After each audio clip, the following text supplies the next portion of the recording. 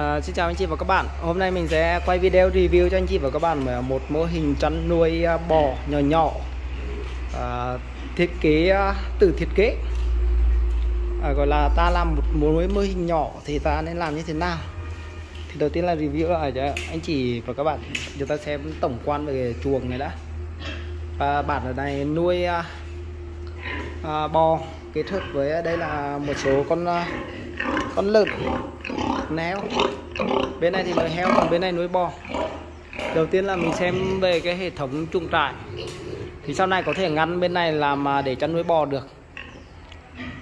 Còn à, hệ thống mái thì các bạn xem cơ cấu để tiết kiệm nhất thì mình chỉ hàn kèo và hàn cột như thế này thôi. Và ở trên à, nếu mà mình không có điều kiện nhiều thì chúng ta lợp pro xi măng và chúng ta xây lên như thế này còn à, hệ thống đường sau này thì à, rào B40 xem một cái bức tường lên. Và rào vào B40 để cho nó thoáng mát vào mùa hè. Vào mùa đông thì mình căng bạt vào đấy thì à, để cho nó khép kín lại để cho nó, gió lùa vào không được. Thì nó sẽ ấm vào mùa đông. Yêu cầu của, của chuồng trại thì à, thoáng mát vào mùa hè và ấm vào mùa đông. Thì à, cơ cấu cột. Cột thì như thế này cả nhà nhé cột sắt thì nó sẽ tốn tiền hơn so với cột bê tông.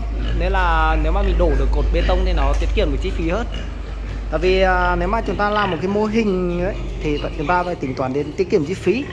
Đối với những bản mà không có điều kiện à, kinh tế nhiều thì chúng ta thiết kế một cái chuồng như thế này. Và đầu tiên nhất là diện tích. Diện tích. Thì khoảng cách ở đây thì à, tầm khoảng à, 2 mét và ở phía sau thì có một cái hồ phân. Chút nữa mình quay review lại cho tất cả các bạn xem. Còn à, đây là màng ăn này. Màng ăn. Và đây là lối đi. Lối đi này thì có thể dễ dàng là mình đẩy à, xe rùa vào phía trong.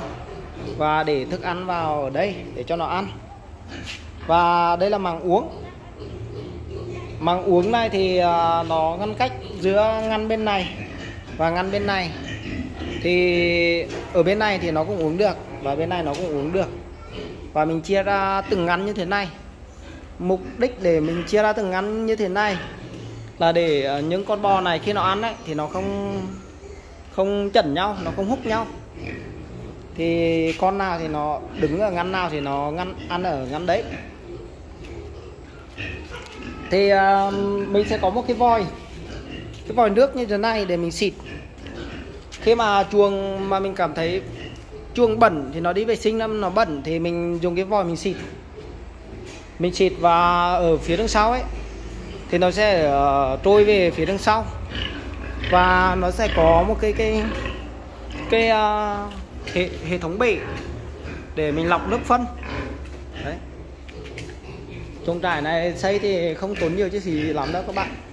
Chỉ có tiền tốn tiền sắt ở đoạn này còn ờ, sắt ở tuyến này thì mình cơ, cơ cấu như thế này nhé thì các bạn xem để các bạn có thể học theo để cơ cấu. Nếu mà không có điều kiện kinh tế nhiều. Đây ừ, mình đi quay hộp phân cho, cho các bạn xem nhé ra bên ngoài này. Là hệ, hệ thống đằng sau. Hộp phân.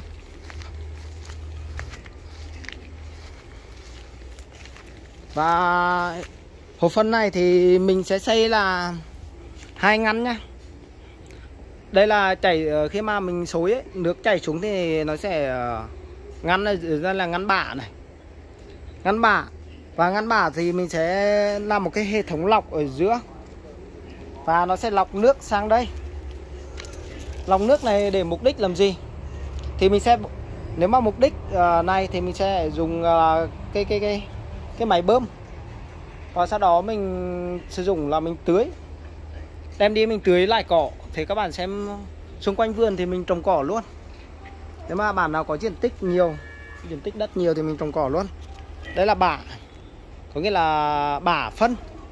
Và cái này thì mình có thể uh, xúc đi mình bón cho cỏ. Hoặc là mình có thể làm nhiều cái mục đích khác nhau.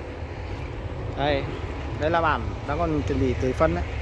Đấy khi cắm điện vào thì nó sẽ hút nếu hút, sau đó mình đi tưới trực tiếp cho cỏ, thì cỏ nó sẽ tốt nhá để đi đi quay cho tất cả các bạn xem luôn. Đây, hệ thống vòi vòi dẫn nước phân. Đấy, mình thiết kế thì mình phải thiết kế như thế. Tại vì là khâu chăm sóc cỏ ấy, thì cũng là một phần quan trọng. Các bạn nhé để ờ, xoay vòng nguồn thức ăn cho nó, thì mình vừa nuôi bò này, vừa là lấy à, nước phân để mình quay lại. Mình tiếp tục là mình tái tạo lại cái cái cái uh, nguồn cỏ. Thì các bạn xem đây ống ống nước màn đi cũng khá dài. Đây ở xung quanh vườn là trồng cỏ.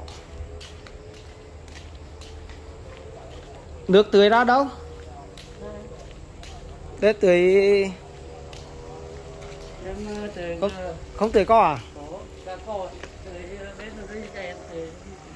Chả quá rời bên kia. Đây là nước phân nha.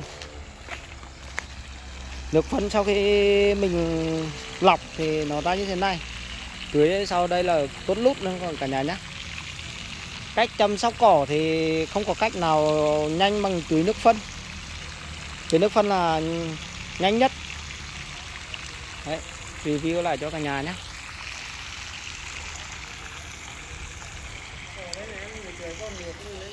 ờ. À, cắt. Đây đúng không?